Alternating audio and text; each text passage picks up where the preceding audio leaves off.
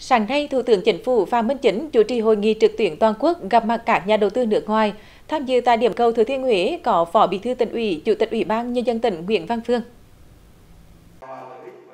Phát biểu khai mạc, Thủ tướng Phạm Minh Chính nêu rõ, hội nghị có ý nghĩa rất quan trọng, nhất là trong bối cảnh tình hình thế giới diễn biến nhanh phức tạp, nhiều vấn đề chưa có tiền lệ vượt qua dự báo tác động tới tình hình kinh tế Việt Nam.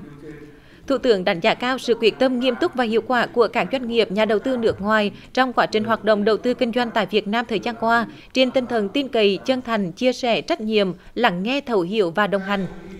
Bên cạnh những kết quả đạt được, hội nghị thẳng thắn nhìn nhận lĩnh vực FDI vẫn còn những tồn tại hạn chế bất cập, chưa thực sự đáp ứng được yêu cầu phát triển và mong muốn của cả hai phía. Chính phủ tiếp tục chia sẻ, lắng nghe, thấu hiểu và đồng hành cùng các nhà đầu tư nước ngoài.